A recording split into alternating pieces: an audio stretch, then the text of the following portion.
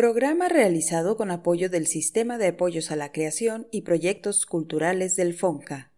Hoy, en El Conejo de la Luna, en la sección Biblioteca Terrestre, escucharemos la última parte de la historia de Iván el Imbécil. ¿Ustedes saben cómo se comunican las neuronas entre sí? Averígüenlo en la sección Los Selenitas. Los libros no creen en la edad. Según ellos, su propia edad, la edad de los libros, es un detalle que carece de importancia. Y tampoco les importa ni un poquito la edad de los lectores. Eduardo Galeano.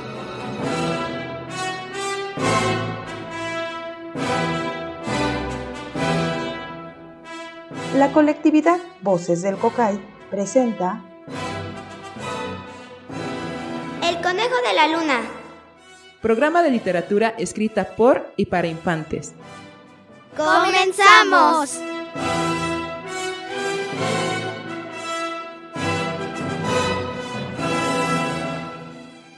Hola, ¿qué tal, Selenitas? Bienvenidos. Ya estamos otra vez con ustedes, muy contentas y contentos de eh, acompañarlos y de escucharles y escucharnos. Y nosotros somos. Gerardo Cuervo. Elieranda. Y Nat Mendoza, que creo que en el pasado programa no me presenté porque siempre se me olvida presentarme. Pero ya saben, ya me reconocen, soy la que habla, habla y habla y bla, bla, bla. Y nosotros somos parte del colectivo o de la colectividad Voces del Cocay en la que también a veces participan otros compañeros y compañeras. Quienes estamos de fijo somos Eli, Gerardo, Gibran Pérez, el niño de ahora 11 años, y, este, y su servidora Nat Mendoza. Pero a veces también nos acompañan algunos otros compañeros. Por ejemplo, para hacer la edición de Iván el Imbécil, nos acompañaron con sus voces Laura Zavala, Héctor Frías y Miguel Prieto, a quienes les agradecemos muchísimo su participación. Y recuerden que tenemos dos secciones. ¿Cuáles son, Gerardo? Una es Biblioteca Terrestre y la otra Los Selenitas. Así es, Selenitas y Biblioteca Terrestre. Y además tenemos, Celi. Tenemos nuestras cápsulas Palabra de Conejo, nuestro glosario, que se inserta entre pues nuestra radionovela y o los radio Así es, así que sin más preámbulo, comenzamos. Bienvenidos, Selenitas y bienvenidas.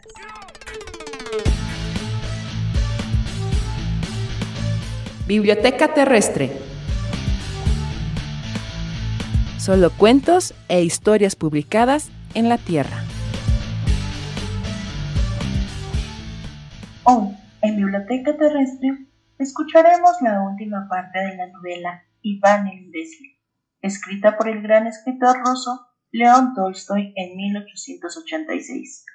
Adaptación radiofónica de Gerardo Cuervo y Nat Mendoza en 2021. Voces del Cocay. Voces del Cocay somos un grupo de personas de diversas edades que creemos en el poder de la palabra. Por eso desarrollamos contenidos para continuar difundiendo la literatura y la voz. El nombre Cocay se refiere a la palabra con que las y los antiguos mayas se referían a la luciérnaga, y en una hermosa historia nos relatan cómo, a través de la honestidad, la perseverancia y el trabajo, Kokai ganó su luz verde.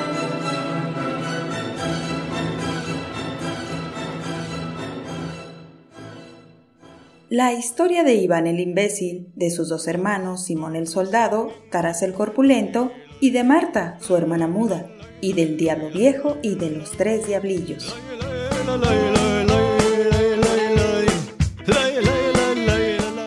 Hoy presentamos los siguientes cuatro capítulos.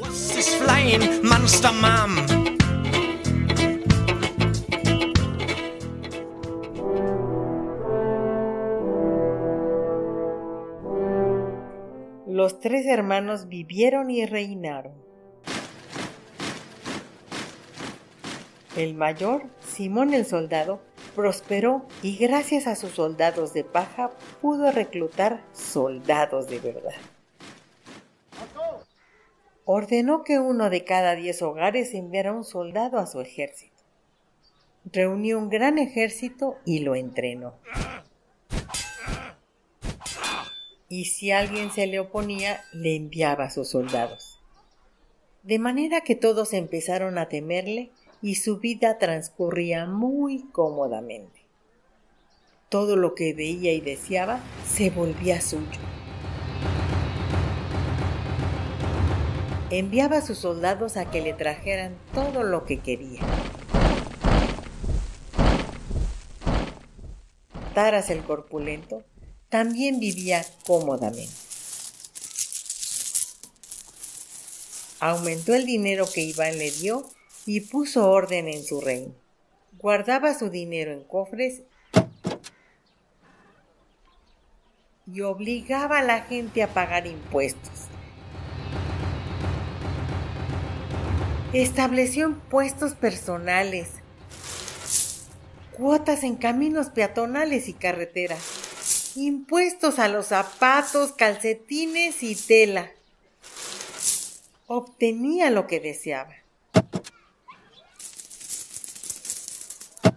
La gente le entregaba todo en nombre del dinero y se ofrecían a trabajar para él porque todo el mundo quería dinero. Iván el imbécil tampoco vivía mal. Tan pronto enterró a su suegro, se quitó las ropas reales y las guardó en baúles. Volvió a vestirse de campesino y regresó al trabajo. Me aburro. Decía. Estoy engordando y he perdido el apetito y el sueño. Así que trajo a su padre, a su madre y a su hermana a vivir con él y siguió trabajando como antes. La gente decía, Pero si eres un zar. Sí, pero hasta los zares deben comer. Uno de sus ministros le dijo, No tenemos dinero para pagar los salarios de los sirvientes. Muy bien, entonces no les paguen. No nos servirán. Muy bien, entonces que nos sirvan. Así tendrán más tiempo para trabajar, que recojan estiércol. Hace mucho que está amontonado, sin aprovecharse. La gente pedía a Iván que sirviera de juez. Un día alguien le dijo, Este hombre me robó el dinero. Muy bien, eso demuestra que lo necesitaba. Y todos descubrieron que era un imbécil. Su esposa le dijo, La gente dice que eres un imbécil. ¿Será porque lo soy? La mujer lo pensó y lo pensó, pero también ella era una imbécil. ¿Deberé oponerme a mi marido? Donde va la aguja, la sigue el hilo. Así que se quitó las ropas reales, las guardó en un baúl y le pidió a la muchacha muda que le enseñara a trabajar. Aprendió a trabajar y empezó a ayudarle a su marido. Y todos los sapios abandonaron el reino de Iván. Solo quedaron los imbéciles.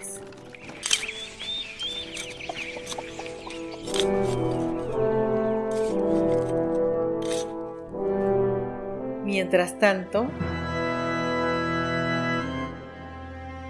el viejo diablo seguía esperando a que los diablillos vinieran a contarle cómo habían arruinado a los tres hermanos. Pero no hubo noticias. Así que fue a averiguar qué pasaba. Buscó y buscó, pero en lugar de encontrar a los tres diablillos, solo encontró tres huecos.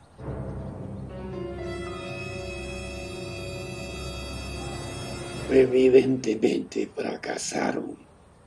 Pensó. Tendré que encargarme yo mismo. Así que fue a buscar a los hermanos. Se molestó mucho al ver que los tres vivían y gobernaban tres reinos diferentes. Tendré que encargarme yo mismo de la tarea. Primero buscó al zar Simón y se disfrazó de general para dirigirse a su palacio.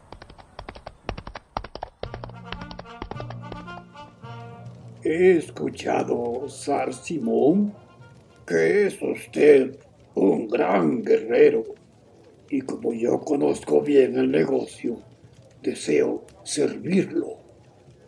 El zar Simón lo interrogó y al darse cuenta que era un sabio lo hizo comandante. Así que el diablo viejo empezó a enseñarle al zar Simón a reunir un ejército fuerte. Hay muchos desempleados en tu reino. Reclutemos al ejército a todos los hombres jóvenes, sin excepción. Así tendrás cinco veces más soldados que antes. Luego consigamos rifles y cañones nuevos. Usaremos rifles que disparen 100 balas a la vez, como chícharos, y cañones que consuman con su fuego a un hombre, un caballo o una pared. El zar Simón le hizo caso al nuevo comandante y ordenó a todos los jóvenes, sin excepción, que se enrolasen como soldados e hizo construir fábricas para hacer grandes cantidades de rifles y cañones mejorados. Después se apresuró a declararle la guerra a un rey vecino. En la batalla, los soldados del zar Simón dispararon una lluvia de balas y fuego. Y de un solo golpe quemaron e inutilizaron a la mitad del ejército enemigo. El rey vecino estaba tan aterrorizado que se rindió y cedió su reino. El zar Simón estaba feliz. Ahora voy a conquistar al rey de la India. Dijo. Pero el rey de la India conocía todos los inventos de guerra del zar Simón e incluso tenía algunos. Además, no solo reclutó a los hombres jóvenes, también a las mujeres y reunió un ejército más numeroso.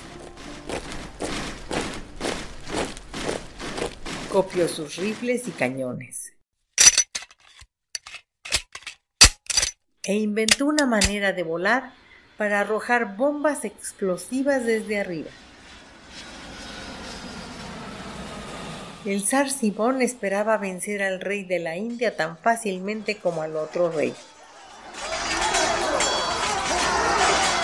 Pero la cimitarra, que antes cortaba tan bien, había perdido el filo. El rey de la India no permitió que el ejército de Simón se acercara lo suficiente para disparar y sus mujeres lanzaron desde el aire bombas explosivas sobre el ejército de Simón.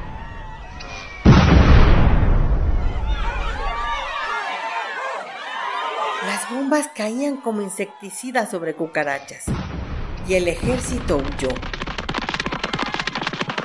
dejando solo a Simón que tuvo que huir. Así que el rey de la India se quedó con el reino de Simón el soldado. Habiendo dado cuenta de su hermano, el viejo diablo se disfrazó de mercader y se estableció en el reino de Taras el Corpulento. Fundó una casa de comercio y empezó a gastar dinero. Pagaba precios elevados por todo Así que el pueblo se apresuró a vender sus cosas al nuevo mercader para obtener dinero. Empezó a circular tanto dinero que la gente pagaba sus impuestos y también las deudas atrasadas. Así que el Sartaras estaba feliz. Planeó construir un nuevo palacio. Anunció que necesitaba madera, piedra y gente para trabajar. Fijó precios elevados a todo, pensando que, como antes, llegarían multitudes dispuestas a trabajar. Pero para su sorpresa, la madera, la piedra y todos los trabajadores estaban con el mercader. El zar Taras aumentó su precio, pero el mercader ofreció más. Aunque tenía mucho dinero, el mercader tenía más y siempre le ganaba. Así que la construcción de su palacio se detuvo. Planeó un jardín y cuando llegó el otoño buscó quien viniera a plantarlo, pero nadie vino. Todos estaban ocupados cavando un pozo para el mercader. Llegó el invierno y quiso comprar pieles para un nuevo abrigo, pero sus mensajeros regresaron diciendo, No hay pieles, el mercader las tiene todas. Ofreció el mejor precio y fabricó tapetes. Quiso comprar caballos, pero los mensajeros regresaron diciendo, El mercader tiene los mejores. Están cargando el agua para llenar su pozo. Todos los asuntos del zar llegaron a un punto muerto. Nadie trabajaba para él porque estaban ocupados trabajando para el mercader. Y únicamente le traían dinero para pagar los impuestos. El zar recogió tanto dinero que ya no tuvo dónde guardarlo y su vida se volvió miserable. Dejó de hacer planes y se hubiese contentado simplemente con vivir, pero incluso eso le estaba costando trabajo. Sus bienes se agotaron, uno después de otro. Sus cocineros, sus cocheros y sus sirvientes lo abandonaron para irse con el mercader. Pronto escaseó hasta la comida. Cuando mandó al mercado a comprar algo, descubrió que no quedaba nada. El mercader lo había comprado todo y la gente solo le traía al zar dinero para pagar sus impuestos. El zar Taras estaba furioso y echó al mercader del país. Pero el mercader se estableció justo en la frontera y siguió como si nada.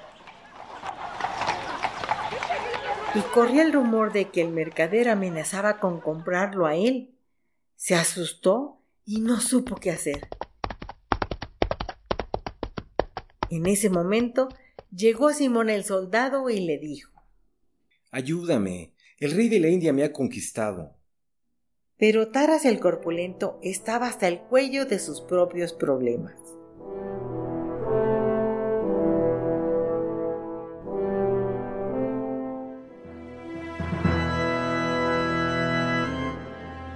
Habiendo salido de los dos hermanos, el diablo se dirigió a Iván. Se disfrazó de general para convencerlo de la necesidad de un ejército. No es conveniente que un zar carezca de ejército. Le dijo. Dame la orden. Reclutaré soldados y reuniré un ejército. Iván lo escuchó y dijo, Está bien, reúne un ejército y enséñales a cantar. Me gustaría oírlos. El general recorrió el reino para reclutar hombres. Les dijo que se metieran de soldados y que cada uno recibiría una botella de licor y un bonito gorro rojo. La gente se rió. Tenemos suficiente licor, lo hacemos nosotros mismos, y las mujeres fabrican gorros de todas clases, incluso de rayas con borlas. Así que nadie se enlistó. Los imbéciles no quieren reclutarse por su propia voluntad. Tendremos que obligarlos. Está bien, inténtalo. De manera que el viejo diablo anunció que todos debían enlistarse y que Iván daría muerte a quien se negara. Usted nos dice que si no nos enlistamos, el zar nos matará, pero no nos dice qué nos pasará si nos enlistamos. Hemos oído que matan a los soldados. Sí, sucede a veces. La gente entonces se negó. No iremos. Es mejor morir en casa. De cualquier manera moriremos. Imbéciles, son unos imbéciles. Un soldado puede morir o no. Pero si ustedes se niegan, el zar Iván de todas maneras los matará. La gente curiosa fue a consultarle a Iván el imbécil.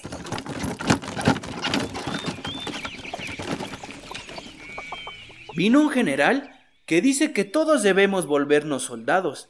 Él dice que si nos volvemos soldados, puede que muramos o puede que no, pero que si no lo hacemos, el zar Iván de todas maneras nos matará. ¿Eso es cierto? Iván se rió. ¿Cómo podría yo solo matarlos a todos?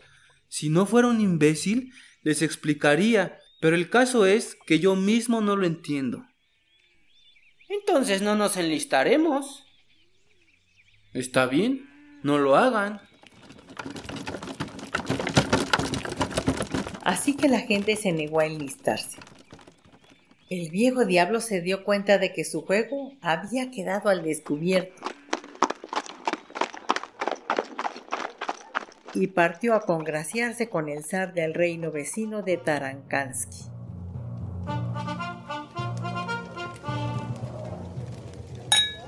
Hagamos la guerra y conquistemos el país del zar. Es cierto que no hay dinero, pero hay trigo, ganado y de todo lo demás en abundancia. Así que el zar de Tarankansky se dispuso a hacer la guerra. Reunió un ejército numeroso, les dio rifles y cañones. Marcharon hasta la frontera e invadieron el reino de Iván. La gente fue a ver a Iván. El zar de Tarankansky viene a hacernos la guerra. Está bien, que vengan. El zar de Tarankansky atravesó la frontera e envió exploradores a buscar el ejército de Iván. Buscaron y buscaron, pero no había ejército. Esperaron y esperaron a que apareciera uno en alguna parte. Pero no había señales de un ejército y nadie con quien pelear. El zar de Tarankansky envió soldados a los pueblos. Los soldados llegaron a un pueblo y los campesinos, tanto los hombres como las mujeres, salieron a mirar sorprendidos. Los soldados empezaron a tomar su trigo y su ganado. Los campesinos los dejaron hacer y no opusieron resistencia. Los soldados avanzaron hacia otro pueblo y lo mismo sucedió allí. Los soldados siguieron adelante un día, dos días, pero en todas partes sucedía lo mismo.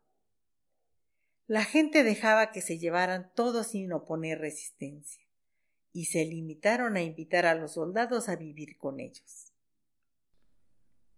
Pobrecitos, si su vida es dura en su propia tierra, ¿por qué no vienen y se quedan con nosotros? Los soldados marcharon y marcharon, y seguían sin encontrar un ejército.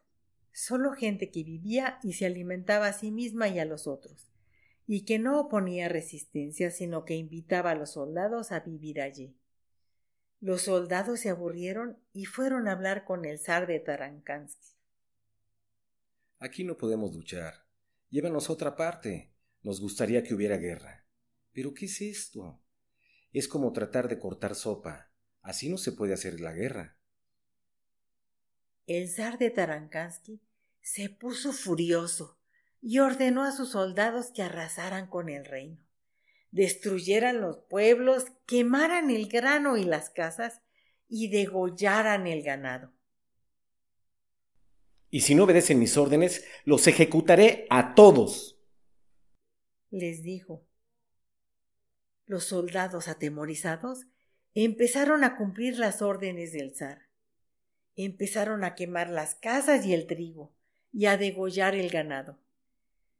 Pero los imbéciles seguían sin ofrecer resistencia y solo lloraban. Los ancianos, las ancianas y los jóvenes lloraban. ¿Por qué nos hacen daño? ¿Por qué desperdician las cosas buenas? Si las necesitan, ¿por qué no las toman? Hasta que al final los soldados ya no aguantaron más. Se negaron a seguir adelante, el ejército se desbandó y huyó. El viejo diablo aceptó que no podía enfrentar a Iván con soldados. Así que se convirtió en un fino caballero y se estableció en el reino. Planeaba derrotarlo por medio del dinero, como había derrotado a Taras el corpulento. Quisiera hacerte un favor, le dijo. Quisiera enseñarte el sentido común. Construiré una casa en tu reino y organizaré el comercio. E Iván le contestó. Está bien, ven a vivir con nosotros si quieres. A la mañana siguiente, el fino caballero salió a la plaza del mercado con un costal de oro y una hoja de papel y dijo Ustedes viven como cerdos me gustaría enseñarles a vivir decentemente. Construyanme una casa con estos planos. Trabajarán, yo les diré cómo, y les pagaré con monedas de oro. Y les mostró el oro. Los imbéciles estaban sorprendidos porque ellos no usaban el dinero. Intercambiaban sus bienes y se pagaban entre sí con trabajo. And Natasha tries to catch him, but his arms are too short. Dijeron y empezaron a intentar penguin boy. trabajo por las No penguin boy, this is the very sad story of how penguin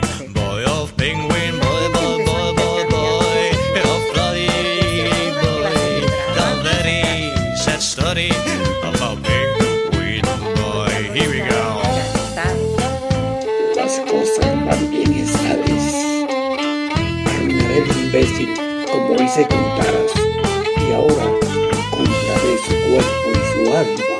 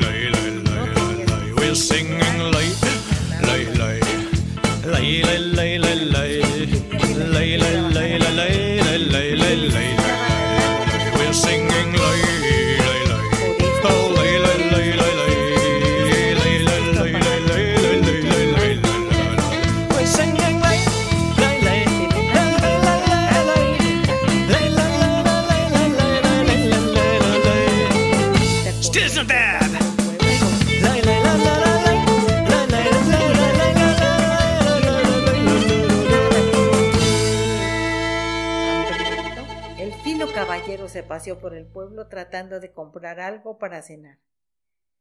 Golpeó una puerta y ofreció una moneda de oro a cambio de una perdiz. Pero el ama de casa no la recibió. Ya tengo demasiadas, dijo ella. Intentó comprar pescado en la casa de una viuda, pero ella le replicó Mm, No quiero su moneda, mi buen señor. No tengo niños que jueguen con ella y ya tengo tres guardadas. Intentó comprar pan en la casa de un campesino, pero ahí también le dijeron No la necesito, pero si está mendigando por amor de Cristo, espere un poco y le diré a la señora que le corte un pedazo de pan. Ante esto, el diablo escupió y salió corriendo. Oír el nombre de Cristo, para no hablar de recibir algo en su nombre, le hacía más daño que una puñalada. así que no recibió el pan. Todo el mundo tenía oro, y el viejo diablo fue a todas partes, pero nadie le daba cosas a cambio de dinero, aunque la gente le decía Trae algo para cambiar, o ven a trabajar, o recibe lo que necesitas en el nombre de Cristo. Pero el viejo diablo no tenía más que dinero. No le gustaba trabajar y no podía recibir cosas en nombre de Cristo. Se puso furioso. ¿Qué más quieren? Les estoy dando dinero. El oro puede comprarlo todo y sirve para contratar a cualquier tipo de trabajador. Pero los imbéciles no le prestaron atención. No necesitamos el dinero y ni siquiera tenemos que pagar impuestos. ¿Qué podríamos hacer con él? El viejo diablo se fue a dormir sin cenar.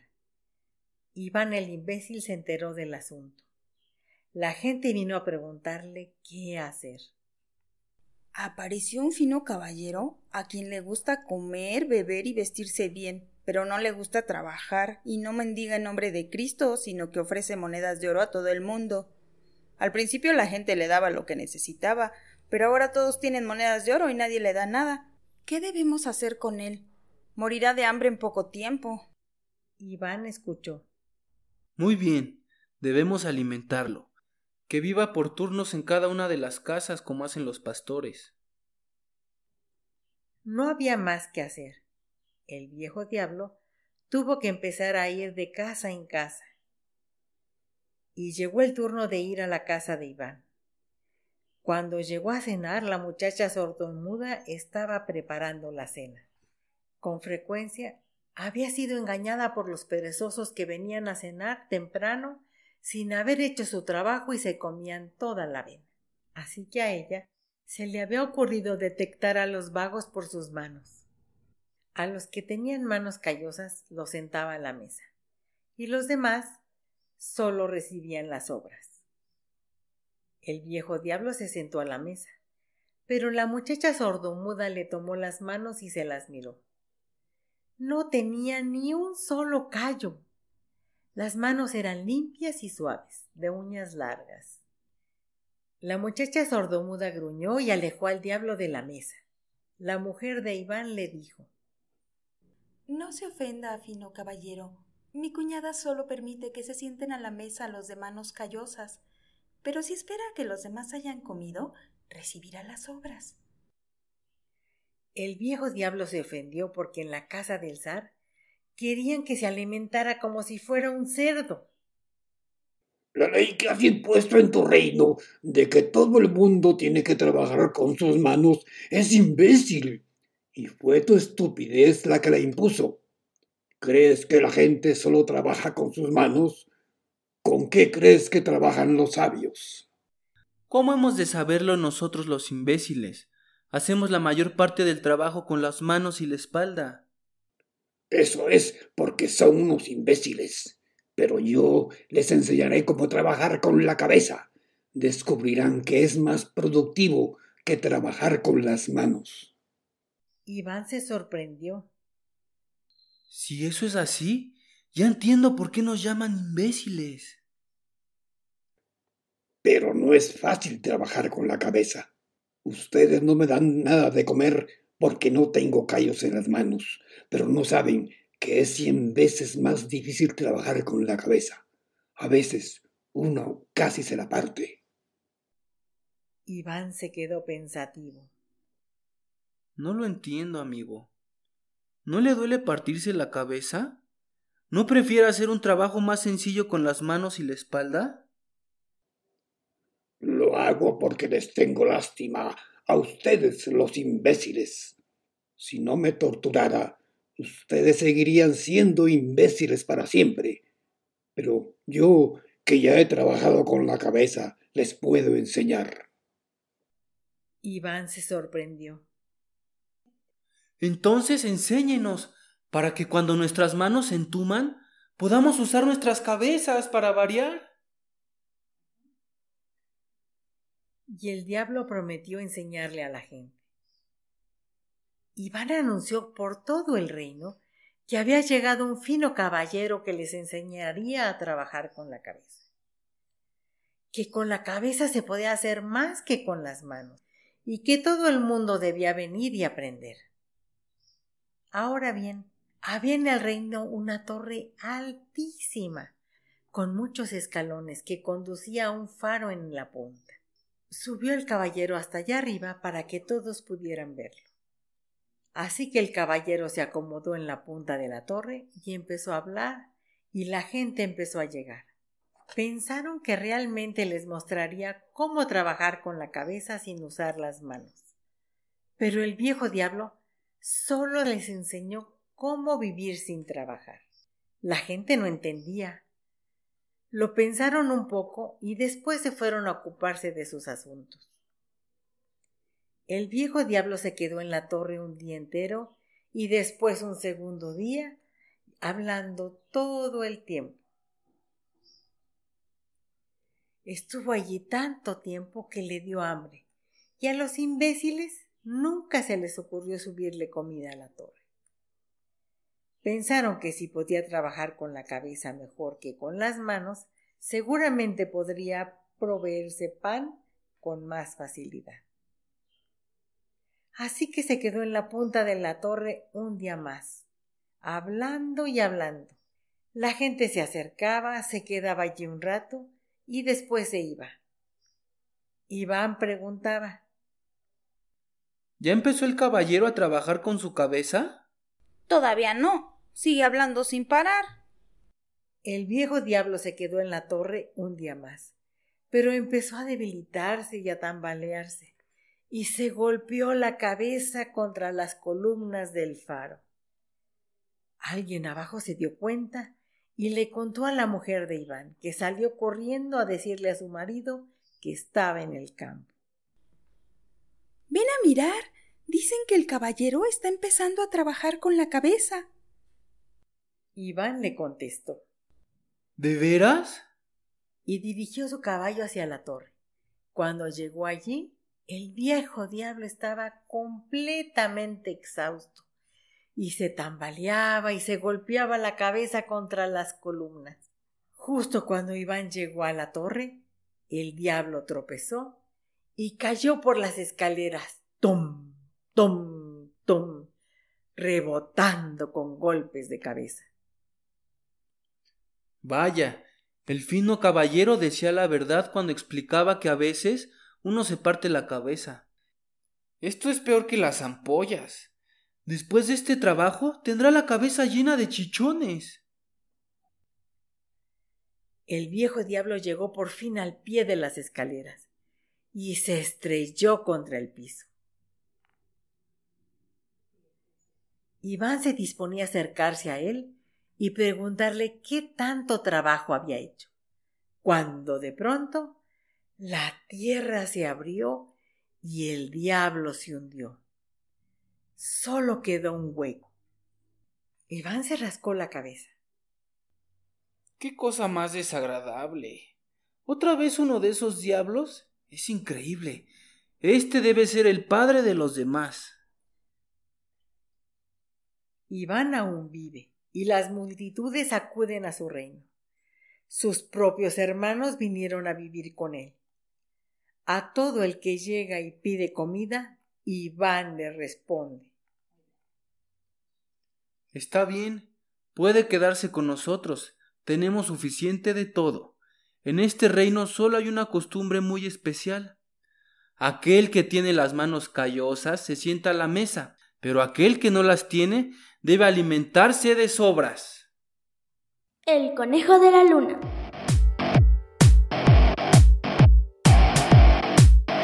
Cuentos escritos por ti, cuentos escritos para ti.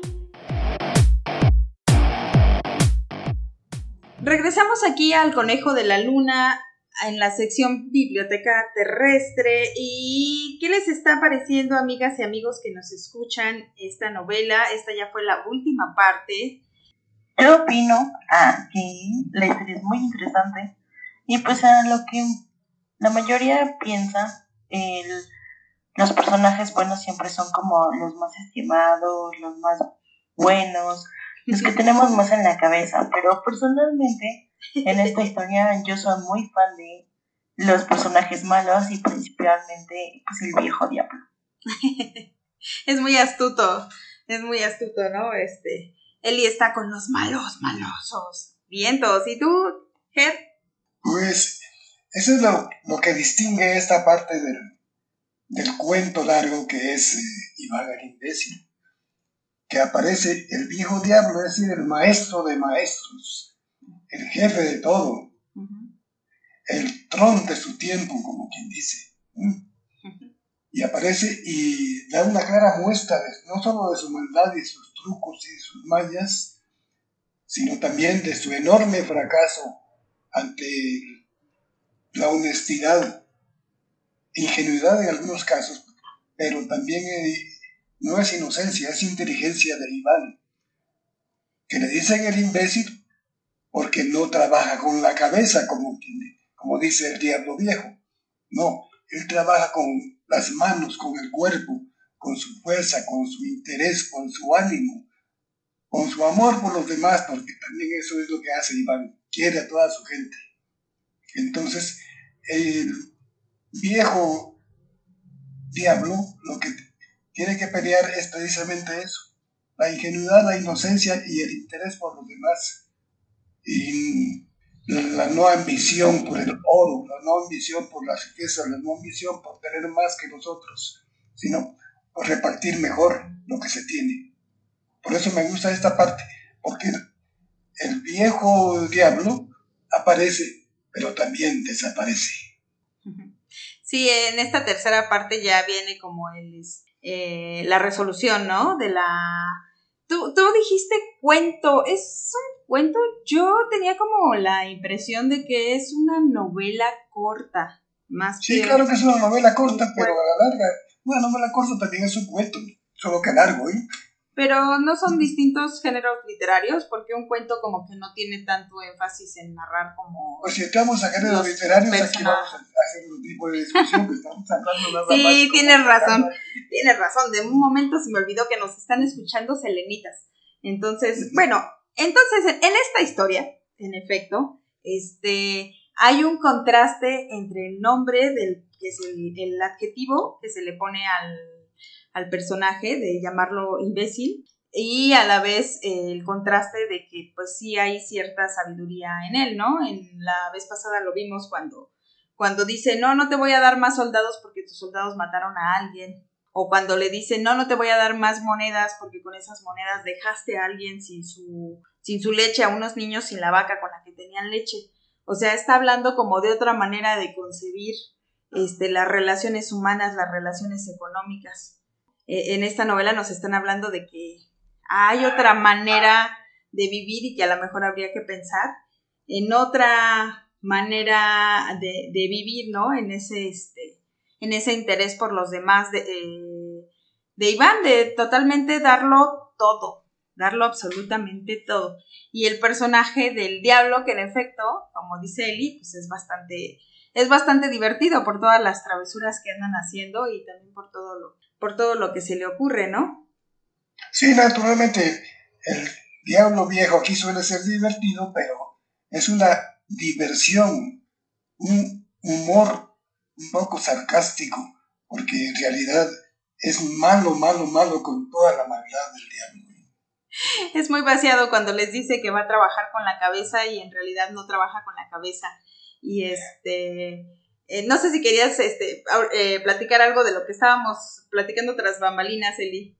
No, pues a veces creo que pues somos a lo mejor caemos en la ingenuidad de creer pues todo lo que las personas eh, mayores o, o con experiencia pues suelen decir. En este caso pues Iván le hacía caso al viejo diablo y nada más por eso pues le tenía como pues una credibilidad, una certeza que a lo mejor pues no, no es así. Y el hecho de querer trabajar con la cabeza, digo, en ese tiempo tal vez era, pues sí, muy ingenuo, muy, muy tonto creer eso y por eso las personas pues no lo tomaban en serio, decían que pues eso no iba a ser posible porque el hecho es que pues para poder tener comida, poder tener vestido, sustento, pues se necesitaba trabajar pues con las manos, porque la mayoría de ellos pues eran ganaderos, agricultores, se dedicaban justamente a eso, al trabajo manual. Sí, claro, obviamente hay muchos trabajos, simplemente nosotros esto que hacemos no es propiamente tanta, tanta labor manual, ¿no? Y a final de cuentas tiene un aporte a la sociedad. Pero creo que más bien ahí lo que León Tolstoy trata de, de decirles a las helenitas y a los helenitas es que hay personas que más bien quieren vivir sin trabajar, ¿no? Incluso ahí lo dice. El diablo, en lugar de enseñarles cómo trabajar con la cabeza, les estaba diciendo cómo vivir sin trabajar. Yo me imagino o yo interpreto que ahí está, en esa parte en la que está en, el, en la torre altísima, este, en esa parte está este, representando como a los políticos o a, o a las personas que se dedican a estafar a otras, ¿no? Que pues nada más se la viven hablando y hablando y no realmente hacen algo productivo. Que a final de cuentas esa es la enseñanza que, que tiene al final. Eh, quienes tienen callos en, la, en las manos, o sea, quienes hacen algún trabajo productivo, son quienes se merecen el pan. ¿No? O no sé tú qué, qué piensas, este, Ger. Pues esto de un trabajo productivo me suena un poco neoliberal. Así como que nada más el que produce para el, para el, no el común, sino para la satisfacción de los que acumulan, son, son los buenos, ¿no? No, en este caso no es tanto eso. Yo creo que más es demostrar que el grupo de población que trabaja verdaderamente, que lleva el peso de toda la, vida diaria, que es producir para comer, producir para vestir, producir para saber, pues estos eh, se encallecen las manos, aunque en este el, el, intelectual también no tenga las manos callosas, pero sí tiene el cerebro calloso. Entonces, bueno, ¿cómo sí. se llama? A lo mejor Este- le en quitas. Este caso, En este caso sí es una especie, no aparte, de- no es una especie, es una crítica a la, a la vida diaria. Dije- dijéramos que de Rusia, no, no es cierto, de todo el mundo, de todo el mundo de su tiempo. Es una crítica de, de los vivillos que tienen mucho bla, bla, bla, pero que no hacen nada en realidad más que, más que aprovecharse de los demás. Y, y los demás son catalogados como imbéciles porque trabajan para ayudar a todos, para que todos coman, para que todos vistan, para que todos sepan. ¿Mm? Pero también hay una crítica, y sí tienes razón, a lo mejor no, la palabra no es productivo, sino más bien como quienes generan la, la riqueza, ¿no? Puede ser riqueza cultural, puede ser riqueza social o puede ser riqueza económica, ¿no? Retomando lo que decía Eli la vez pasada acerca de por qué de repente no le agradaba, agradaba tanto a Iván, porque de repente era como medio dejado, como muy inocente. Yo creo que también esta es una crítica que está haciendo León Tolstoy precisamente a, a quienes trabajan, porque, bueno, espero no, no estar este, respondiendo la pregunta antes de que no la hayan contestado en las redes, eh, selenitas, pero a nosotros nos parece que Iván está representando a la clase trabajadora y precisamente las y los trabajadores de repente eh, sucede que no luchamos mucho por nuestros derechos o por las cosas que nos corresponden, ¿no? Y por eso León Tolstoy está poniendo a este personaje tan dejado, porque a veces le hacen de todo y no se defiende y no, este, o sea, pues permite todo. Y en efecto, pues, pues es algo que, como decías, ¿no, Eli? La, la vez pasada, así de, bueno, pues, ¿por qué es tan inocente? ¿no? Sí, porque parece que no, no aprendiera como uno, ni, ni de él mismo, ni de la vida, ni de las personas que pues conviven con él, sino es una persona como muy influenciable y que pues se, se nota demasiado ingenua y, y por retomar un poco el título, es demasiado imbécil para eso, ¿no? Ni siquiera puede tomar decisiones o pensar en acciones que pues tengan que ver más que nada con la lógica. Sino que cree que se puede ir como por el camino más, más sencillo o más atractivo. Bueno, yo no diría que es influenciable, porque de hecho en el momento en que tiene una postura la sostiene y no se quita de ahí, ¿no?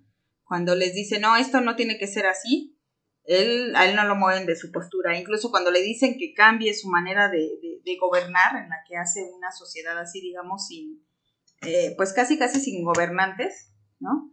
Él mantiene siempre su postura, entonces influenciable no es, pero sí de repente este, es demasiado como generoso con los demás, aun cuando los demás no le están este, agradeciendo o le están reconociendo esa, esa generosidad, ¿no? Bueno, no sé si quieran decir algo más porque creo que ya se nos pasó el tiempo. Sí, no, nada, nada más que cómo se llama, que es, es bueno tener obras como esta de Tolstoy, porque a pesar del tiempo permanece todavía en vigencia de, de la calificación o la intención de calificar eh, los diferentes estratos humanos y, e intenta dar un, un, buen consejo que no creo que una, sea una, moral, una moraleja, sino que un buen consejo. Que los que trabajan tienen derecho a comer.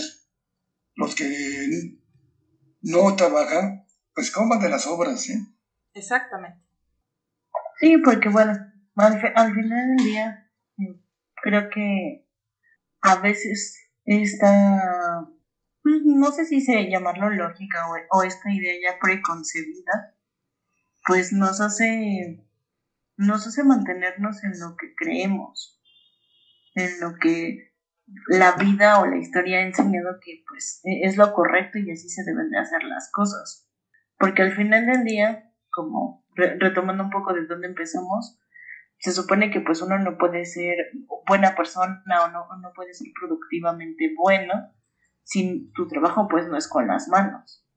Y no es un trabajo meramente que te saque callos, que, que te haga ensuciarte. Eso era un poco como por la realidad en la que vivía León Tolstoy, ¿no? Pero también pasándolo a la actualidad, pues en realidad podría ser este otros trabajos que producen, como te decía, pues otro tipo de riquezas, ¿no? Pero más bien aquí creo que Tolstoy lo que está haciendo hincapié es que pues sí hay gente que vive sin trabajar. y pues que esa Como gente... Se acumulan dinero que uh -huh. solo ponen dinero para que los demás trabajen y ellos tienen la ganancia. Sí, entonces que esa gente que vive sin trabajar y que nada más vive acumulando dinero, pues debería comer sobras. ¿no? En fin, pero bueno, entonces vámonos con la siguiente sección, que es Selenitas, y continuamos, amigos. Estás escuchando El Conejo de la Luna. Continuamos.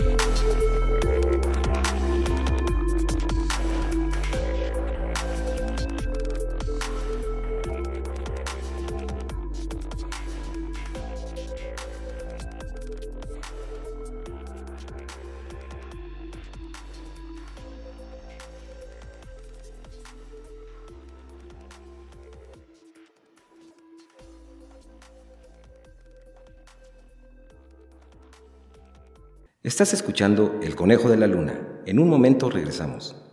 Selenitas. Cuentos e historias escritas por radioescuchas, quienes a veces viven en la luna. Viven en la luna. Selenitas. En esta sección conoceremos cómo funcionan y se comunican nuestras neuronas, con el cuento Las neuronas escrito por Edachi Jaime Vilchis Peña, quien en 2014 ganó el concurso Mi Cuento de Ciencia, organizado por el Consejo de Ciencia y Tecnología del Estado de Querétaro y apoyado por el Consejo Nacional de Ciencia y Tecnología, CONACYT, cuando estaba en tercero de secundaria. Escuchémoslo.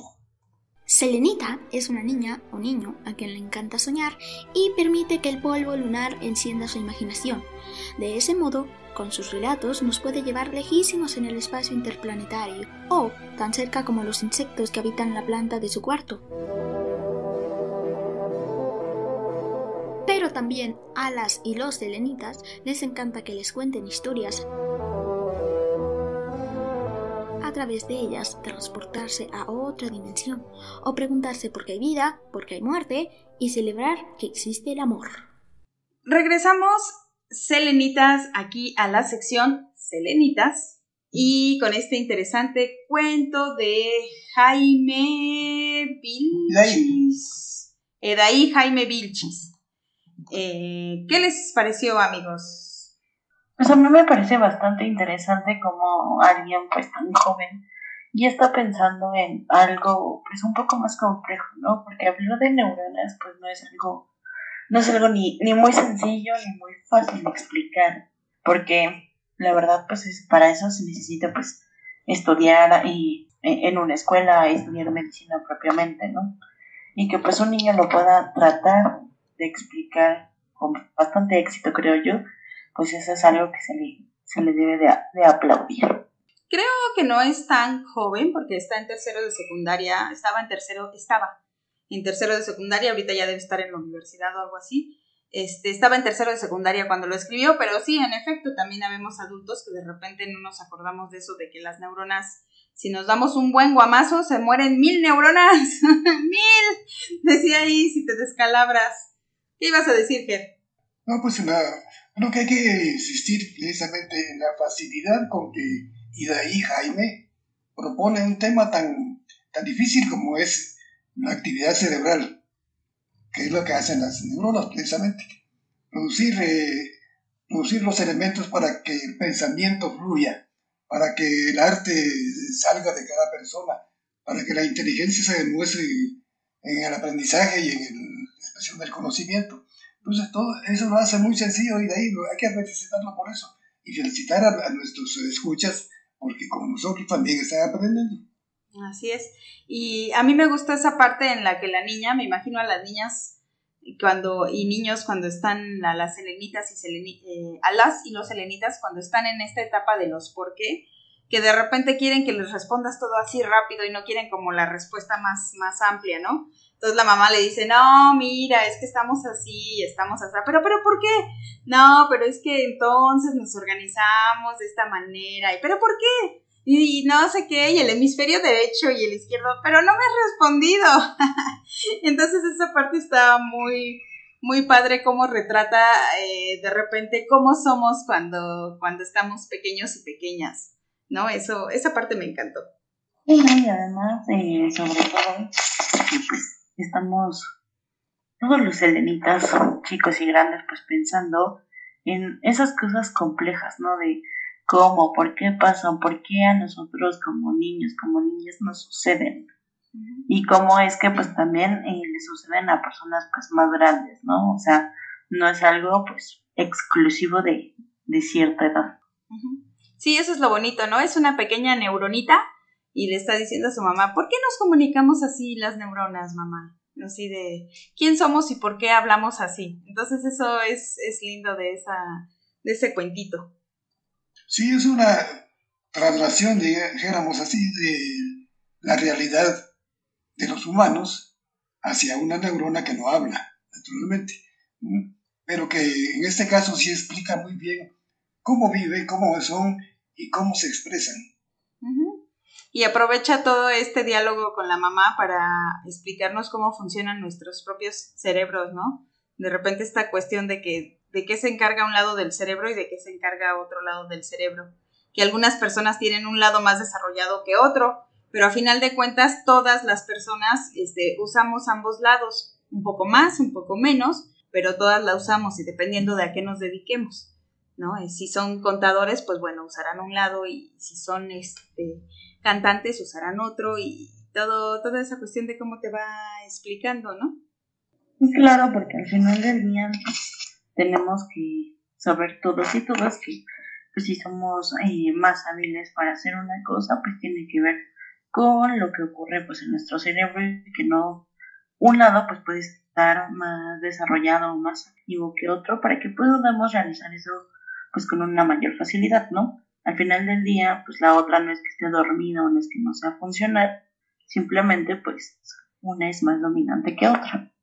Sí, volviendo, volviendo digamos a, lo mismo, lo interesante de Jaime es que hace posible eh, comprender un tema bastante difícil, pero encima de eso le pone una realidad muy común en el ser humano y encima de eso le pone orientación o indicación de por qué es tan importante cuidar nuestro cerebro y las formas en que muchos ayudan a destruirlo o a que mueran sus neuronas, lo cual hay que estar alertas a que no ocurra. ahí. Sí, no solamente los trancazos, sino también el que nos excedamos con el alcohol o que tomemos drogas y todo eso que nos dice cuántos se mueren, ¿no? Y entonces ya después vamos, este, pues siendo menos inteligentes. Eso es también lo interesante que nos dice no solamente cómo funciona, sino cómo podemos cuidarlo. Eso es lo que está padre de, de este cuentito de Jaime Vilchis. Y pues bueno, tenemos que despedirnos, amiguitas, amiguitos, selenitas de todas las edades. Eh, les agradecemos mucho su escucha, les agradecemos mucho que estén aquí y bueno, nosotros fuimos... Gerardo. Gerardo Cuervo. Y Nat Mendoza. Nos estamos viendo la siguiente emisión. Bye amigos, adiós. Nos estamos oyendo. Nos estamos oyendo. ¿Cuál cuento fue tu favorito? ¿Cuál quieres escribir? Tú decides. Nos vemos en la próxima emisión de El conejo de la luna. Hasta la próxima.